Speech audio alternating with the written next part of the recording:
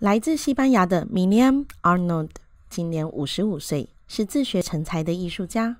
风格为梦幻写实主义，带点素朴艺术的天真与浪漫。创作主题多是女人、孩童的生活与想象世界，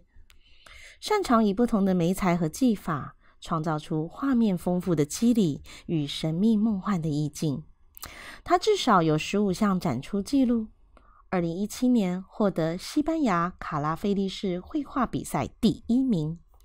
二零一八年获得安东尼奥皮尼欧一郎第二十六届泰拉克斯奖第一名，